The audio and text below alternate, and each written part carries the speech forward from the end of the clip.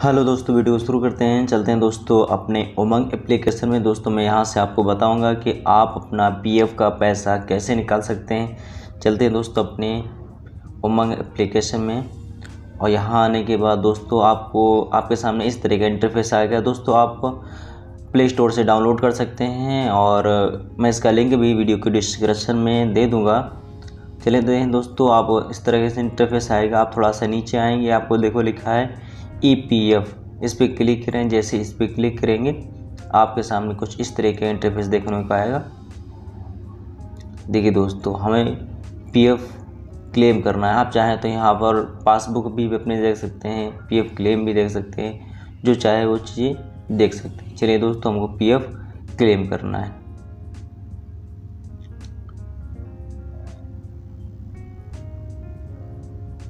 P F claim करने के लिए इस पर क्लिक कर लेंगे। और जैसे क्लिक करेंगे देखो दोस्तों आपके सामने इस तरह का इंटरफेस आएगा। क्लोज कर देते हैं। देखिए दोस्तों, यहाँ पर आपको अपना जो यूनियन नंबर है, वो आपको डालना है। उसके बाद गेट ओ टी पे क्लिक करना है। चलिए दोस्तों, हम यूनियन नंबर डाल देते हैं अपना। चलिए दोस्तों, देखिए मैंने अपना जो यूनियन नंबर है, वो डाल लिया। उसके बाद यहाँ पर हम सिंपली से get O T P click करेंगे, get O T P click करेंगे। दोस्तों आपके मोबाइल नंबर पे एक ओ टी पी आएगा, उसको ओ टी पी को यहाँ पे सबमिट कर देते हैं दोस्तों।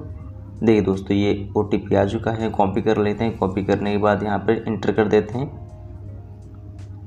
एंटर करने के बाद दोस्तों, अगर आपका get O T P O T P नहीं आता है तो आपको दोबारा यहाँ पर कर सकते हैं। उसके बाद यहाँ पर आपको सबमिट कर देना है। सबमिट पे क्लिक करना है, जैसे सबमिट पे क्लिक करेंगे, आपका देखिए दोस्तों, आपके सामने आपके सामने आपके जो पूरी डिटेल्स है, वो सारी पूरी डिटेल्स आ जाएगी। दोस्तों, आपको यहाँ पे क्या करना है? यहाँ पे लिखा बैंक अकाउंट नंबर आपको जो बैंक अकाउंट नंबर आपका जो आपने, आपका जो कंपनी में लगा था, वो आपका बैंक अकाउंट नंबर डाल देना। दोस्तों, अपना बैंक अकाउंट नंबर फिल कर देते हैं, जो हमारा बैंक अकाउंट नंबर है। और अकाउंट नंबर फिल कर देते हैं। दोस्तों अपना अकाउंट नंबर फिल कर चुके हैं। उसके बाद यहाँ पर नेक्स्ट पे क्लिक करेंगे। दोस्तों नेक्स्ट पे क्लिक करने के बाद दोस्तों, आपके सामने इस तरीके इंटरफेस आएगा। इंटरफेस आएगा, यहाँ पर आपको एक मेंबर आईडी चुन लेनी है।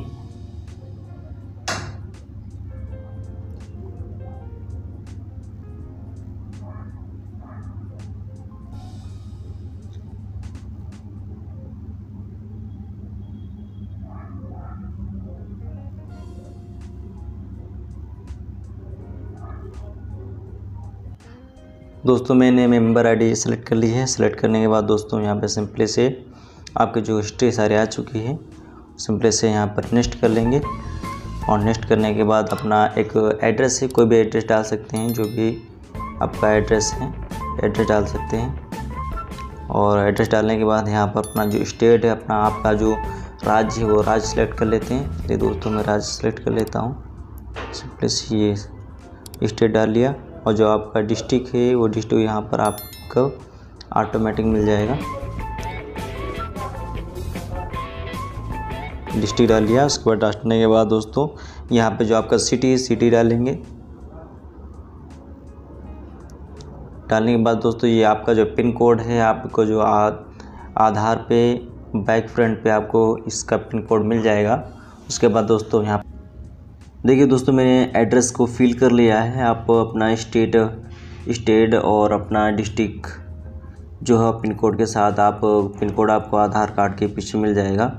वहाँ से डाल सकते हैं। उसके बाद दोस्तों नेक्स्ट कर देते हैं। और जैसे ही नेक्स्ट करेंगे दोस्तों, आपके सामने इस तरह का इंटरफेस आएगा। यहाँ से जो फॉर्म इकतीस है, ये चुन लेंगे।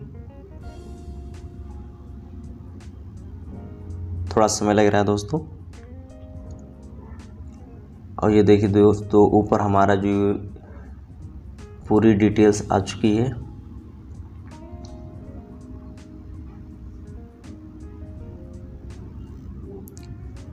ये दोस्तों,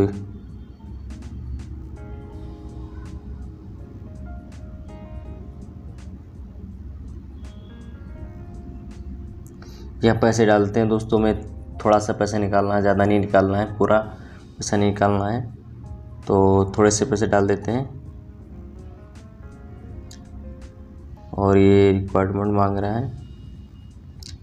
यहाँ पर आपने चेक या जो बैंक पासबुक उसकी फ़ोटो अपलोड कर सकते हैं। अगर आप चाहें तो फ़ोटो तुरंत खींच सकते हैं, यहाँ से टेक फ़ोटो पे करेंगे तो आप इसका कैमरा चालू हो जाएगा और चॉइस फ्रॉम गैलरी करेंगे तो आप जो गैलरी है गैलरी में आप पहुँच जाएँगे। चलो दोस्तों गैलरी में पहुँचते हैं और गैलरी में जाने के बाद दोस्तों, एक मैंने चेक का फ़ोटो खींच लिया है। ये देखो दोस्तों रहा, ये चेक का फ़ोटो खींचा है।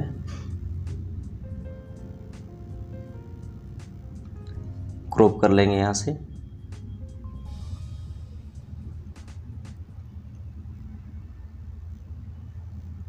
और यहाँ से टिक कर देंगे।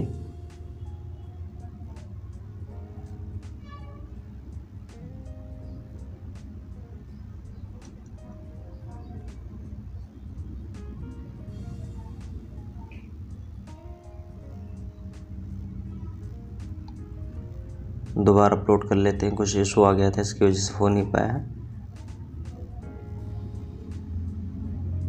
इससे दोस्तों अपना एकदम सही से ऐसा रख लेना है, फिर यहाँ पे क्रॉप करना है और क्रॉप करने के बाद यहाँ पर टिक का निशान ओपन कर देना है और फिर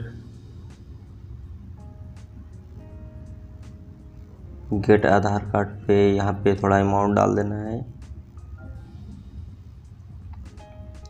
गेट आधार कार्ड पे क्लिक करना है। जो आपका आधार कार्ड नंबर है, उस पर आपका लग जाएगा। दोस्तों, आपका जो आधार कार्ड नंबर है वो होना बहुत अनिवार्य है, ज़रूरी है दोस्तों।